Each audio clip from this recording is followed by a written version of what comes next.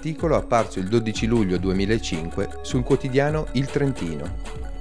Ancora pochi giorni per visitare una delle esposizioni più interessanti e intriganti allestita in quel di Trento, la collezione di opere d'arte della regione autonoma Trentino-Alto Adige, una mostra visitata moltissimo dal pubblico degli amanti dell'arte.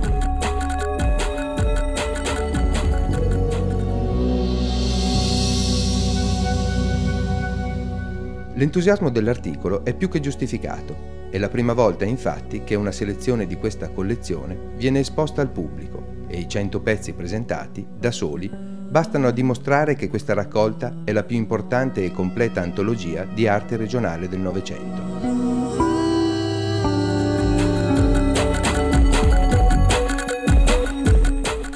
In mostra sono presenti infatti quasi tutti gli artisti più importanti che hanno operato in regione nel secolo scorso.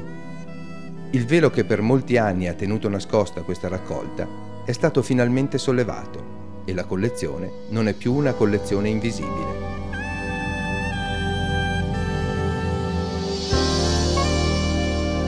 Tradotta in numeri, la collezione parla chiaro. Quasi 1300 opere raccolte in 50 anni di acquisti divisi tra pittura, grafica e scultura. 600 gli artisti rappresentati.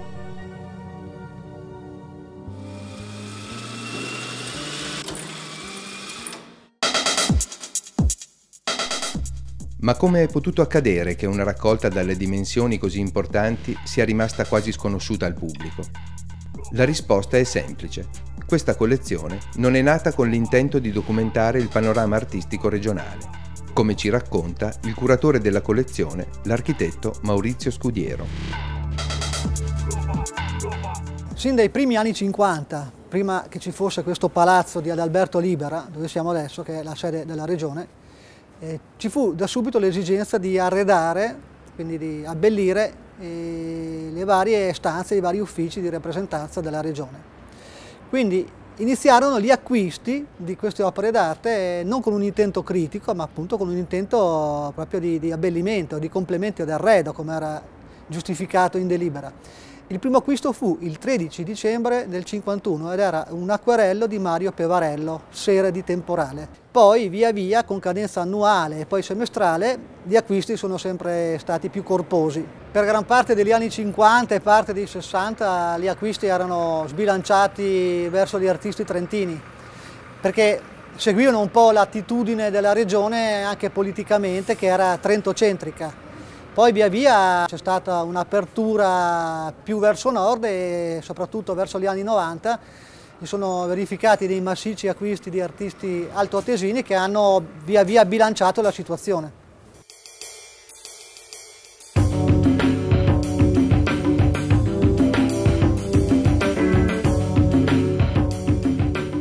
Dal 1951 fino alla mostra del 2005, soltanto chi lavorava qui o chi aveva l'occasione di entrare negli uffici e nelle sale di questo edificio poteva vedere le opere acquistate. E solo agli inizi degli anni 90 ci si accorse di avere a che fare con quella che era diventata una vera e propria collezione. Si decise allora di porre rimedio al fatto che le opere non erano state ancora catalogate in modo appropriato la catalogazione venne affidata ad un funzionario della regione, il ragionier Hans-Jörg Gruber. Comincia così il primo vero capitolo della storia della collezione. Fu nel 1993 che io ricevetti il primo incarico di occuparmi delle opere d'arte della regione. Successivamente l'amministrazione pensò di affiancare al lavoro che stavo già facendo eh, l'esperienza di un esperto esterno che era il professor Passamani. Insieme eh, incominciamo a buttare giù diciamo così, un progetto eh, per occuparci appunto eh, di tutte le opere che si trovano sparse in giro nei vari uffici della Regione. Ci accorgemmo subito innanzitutto che il numero delle opere d'arte presenti in Regione era molto rilevante, superava i mille pezzi a quei tempi e, e poi eh, non erano eh, perfettamente identificati in quanto le schede di registrazione che erano state reperite non erano poi così precise e così eh, esaustive come si pensava.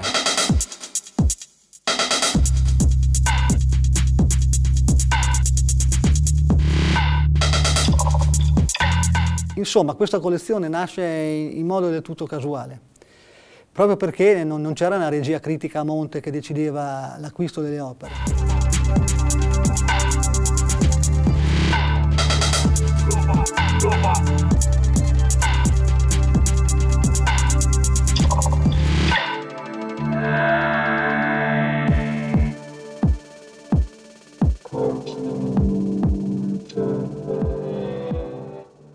Quindi diciamo, all'inizio non c'è stato molto spazio per l'avanguardia come poteva essere nel resto d'Italia, che c'era già una ricerca sugli estratti, c'era Fontana e così via.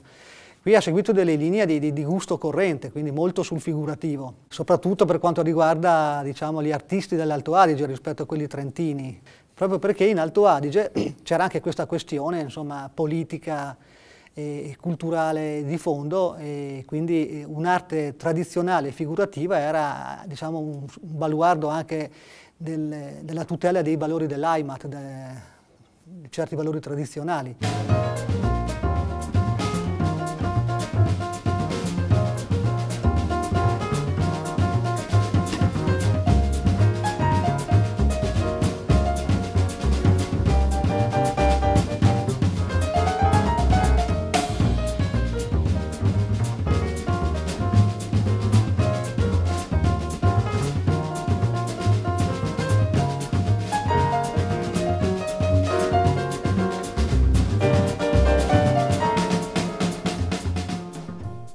Gli anni 50 e 60 sono anni di acquisti consistenti.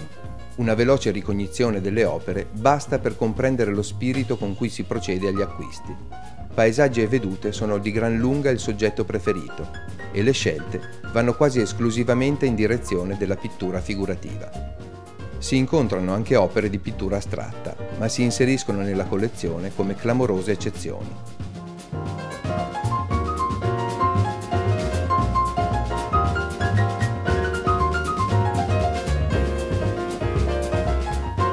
L'intento è evidente, gli acquisti sono di qualità, ma anche improntati ad un decoro considerato più adatto allo scopo di arredo e rappresentanza a cui le opere sono chiamate in primo luogo ad assolvere.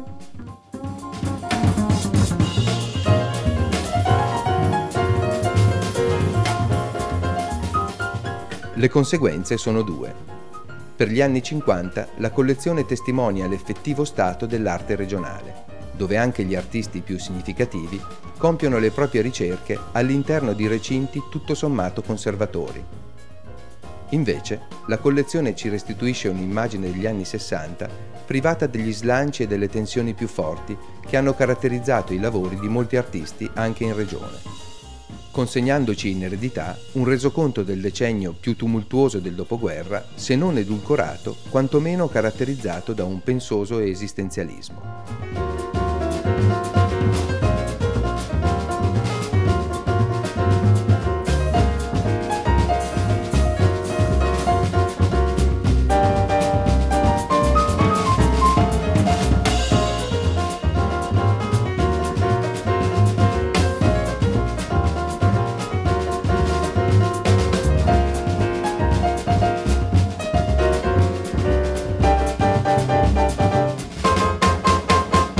Squadra che io composi eh, era formata da eh, tre persone, erano tre collaboratrici mie.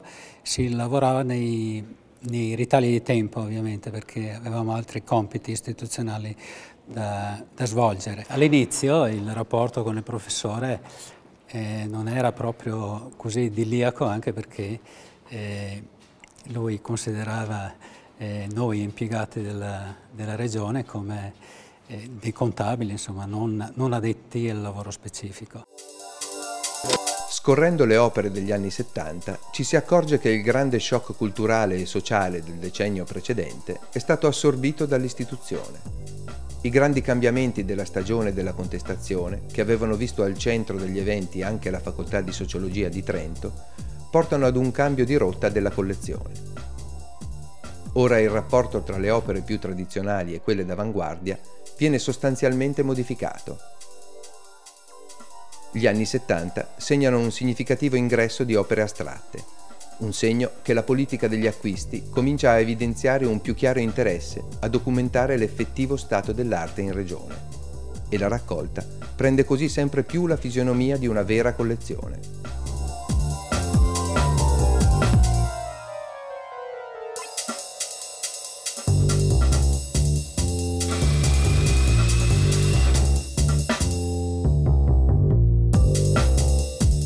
Con l'inizio del decennio successivo, gli artisti cominciano ad intraprendere percorsi sempre più personali e slegati da qualsiasi parola d'ordine che indichi i possibili cammini comuni, così come era invece successo negli anni 70. Sono gli anni del ritorno a quella che viene chiamata la pittura pittura e della riscoperta del figurativo.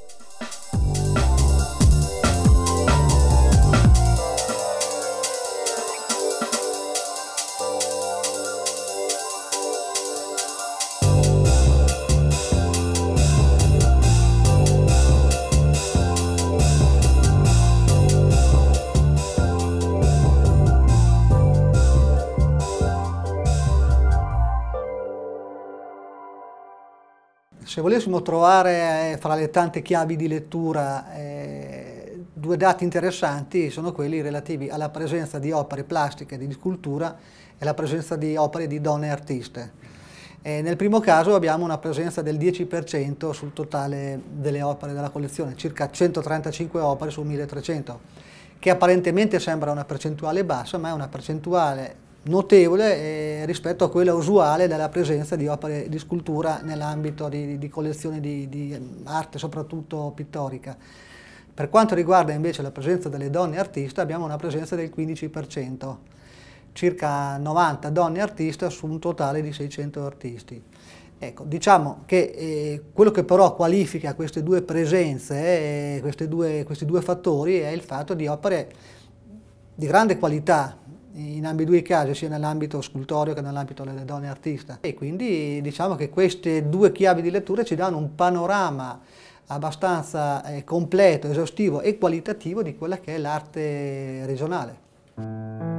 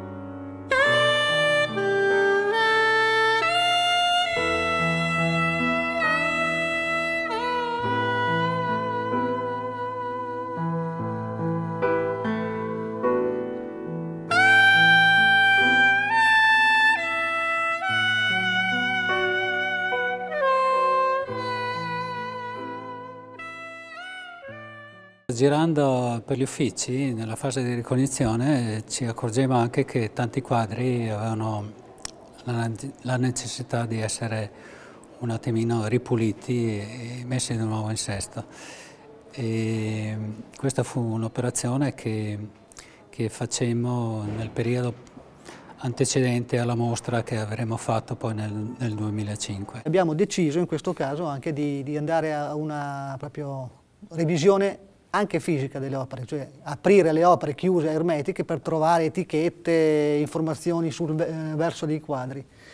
Ecco, questo ha portato delle sorprese. Eh, una su tutte, tanto per dire, un depero degli anni 50, conoscendo io De Pero che negli anni 40-50 in mancanza di materiali usava vecchie tele, vecchi quadri, li rigirava, ha portato alla scoperta sul verso di un frammento e di un importante dipinto degli anni 20. Era un dipinto che lui aveva fatto per eh, l'Hotel Bristol di Merano, un dipinto di 7-8 metri di lunghezza di cui si conoscevano le foto in bianco-nero, ma questo frammento è importantissimo perché ci dà proprio il, il clima cromatico di quel dipinto e con delle tecniche, con un programma in Photoshop, eh, noi possiamo ricostruire le vecchie foto in bianco-nero pancromatiche, eh, assegnando ad ogni gradazione di grigio eh, un colore e quindi andare a ricostruire fisicamente il quadro.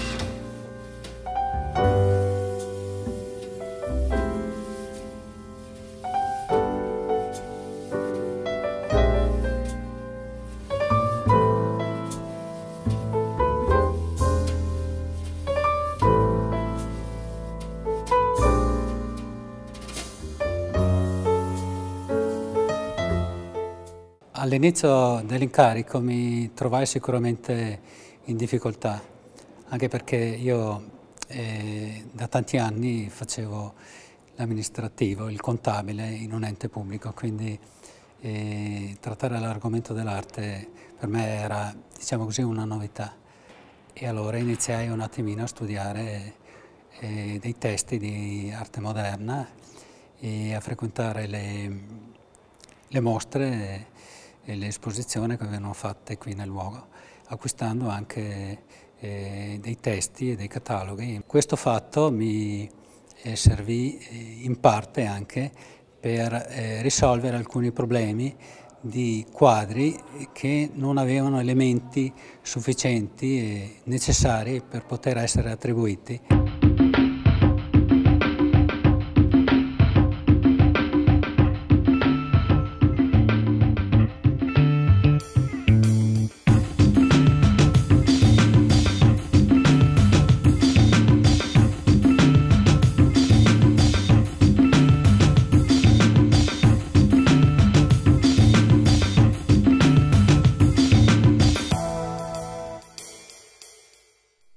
Negli anni 90 la collezione acquisisce un grande numero di artisti altoatesini. Si ripara in questo modo alle scelte dei decenni precedenti, che hanno sbilanciato la raccolta di opere verso l'area trentina. I nuovi lavori ci danno l'immagine di un Alto Adige meno tradizionale e invece sintonizzato sui linguaggi artistici più freschi e interessanti dell'Europa del Nord sia gli artisti figurativi che quelli astratti sono una perfetta testimonianza della coinè culturale che si sta formando tra la fine del vecchio e l'inizio del nuovo millennio. Questa è la parte della collezione dove meno si può leggere la provenienza geografica e culturale degli artisti, che invece sembrano cercare, in modo più evidente dei decenni precedenti, un confronto con l'arte contemporanea tout court.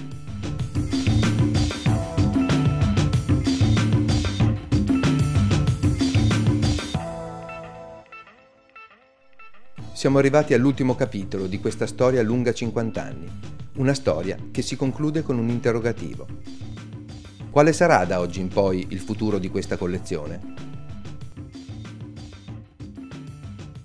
Un'ultima cosa che si potrebbe aggiungere su questa collezione è quella de, di alcune lacune che, che, vi sono e che dipendono appunto dal fatto che non vi è stata una regia critica, eh, una su tutte Tullio Garbari, eh, ma queste si potrebbero eh, compensare nel momento in cui si perverrà ad una decisione sul futuro della collezione.